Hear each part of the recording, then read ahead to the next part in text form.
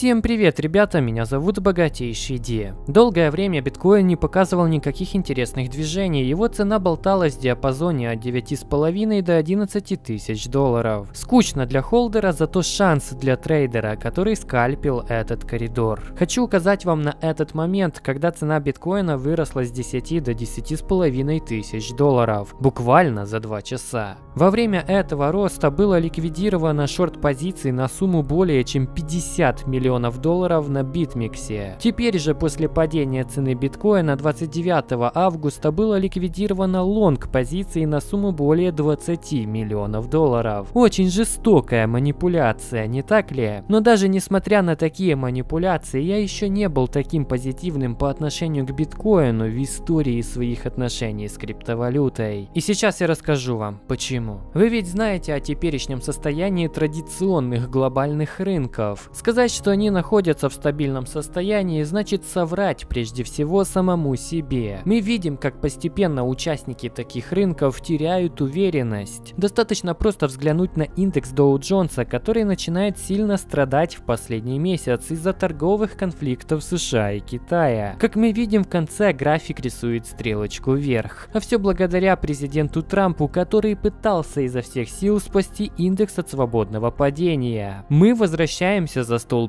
переговоров, заявил Трамп. Безусловно, такие новости заставили рынки отреагировать положительно. Однако, если проверить заявление президента Соединенных Штатов, можно усомниться в правдивости его слов. Ху Цинзинь, главный редактор Global Times, опровергает заявление Трампа. Насколько мне известно, китайские и американские переговорщики не проводили никаких телефонных разговоров в эти дни. Обе стороны поддерживают технические контакты, однако ничего из того, о чем говорил президент президент Трамп не было. Китай не изменил свою позицию, и Китай не прогнется под давлением США. Однако и это заявление нужно было проверить, и подтверждение в результате исследования также было найдено, причем на самом высоком уровне. В Министерстве иностранных дел Китая опровергли заявление Трампа о просьбе продолжить переговоры. В МИД Китая заявили, что не слышали о каком-либо недавнем телефонном звонке по вопросам продолжения торговых переговоров между КНР и США. Учитывая это, Доу Джонс снова ждет хаос. Это не только торговая война, но уже и битва валют, которая ставит под удар топора финансовое благополучие и богатство населения обеих держав. А теперь представьте, что обнаружился рынок, который дает людям абсолютный контроль над собственными финансами. Рынок, который никак не привязан к государствам или большим корпорациям. И рынок, который имеет фиксированное предложение. Это же биткоин. Я нашел нашел интересную диаграмму, которая показывает нам распределение UTXO биткоина по времени. Это очень важный график, который дает нам понимание того, насколько долго держат монеты те или иные инвесторы. Что такое биткоин UTXO? Это небольшие входящие платежи, являющиеся неизрасходованными выходами в сети биткоина. Проще говоря, это один из механизмов, который обеспечивает безопасность сети биткоина. Каждый раз после завершения транзакции отправитель получает остатки баланса обратно на свой кошелек. Эти остатки и зовутся UTXO. Таким образом, сеть защищается от двойного использования средств.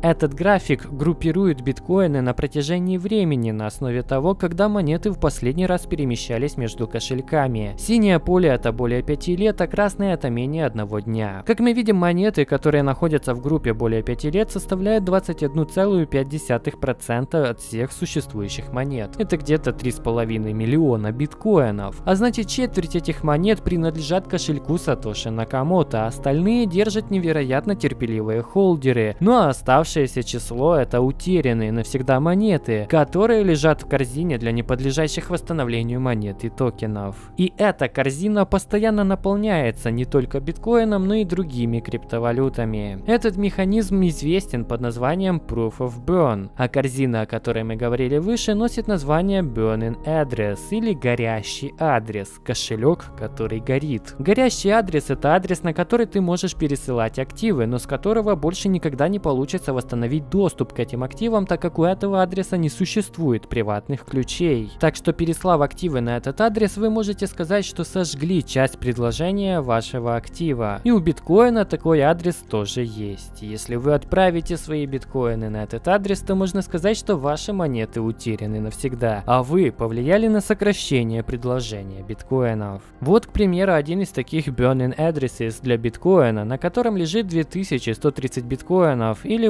более 20 миллионов долларов по актуальному курсу. Эти монеты утеряны навсегда. Давайте рассмотрим Blockstack.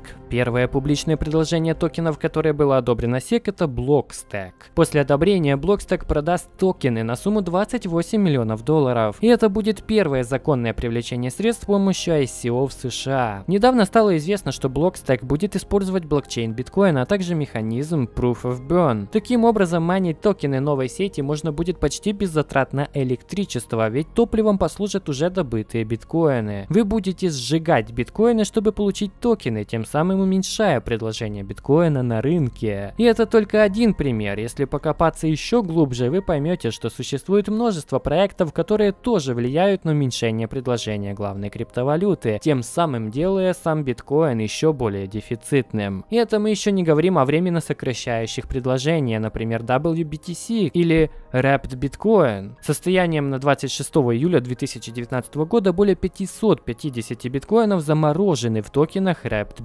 Bitcoin. Wrapped Bitcoin это токен на базе блокчейна эфириума, который поддерживается биткоином и привязан к стоимости этого биткоина. Как последствие, Wrapped Bitcoin приводит к временному сокращению предложения биткоина на рынке. Биткоинов в циркуляции становится меньше, а значит дефицитность растет. Можно еще вспомнить и про Rootstock и многие другие проекты, которые влияют на дефицитность биткоина. И я готов поспорить, что многие участники рынка, которые влетели сюда ради быстрой наживы, даже не слышали о таких механизмах, которые влияют на дефицитность главной криптовалюты. Ну а дефицит обычно приводит к росту цены. Однако не стоит забывать и о манипуляциях, и о том, что на этом рынке мы с вами не маркетмейкеры, а всего лишь их жертвы.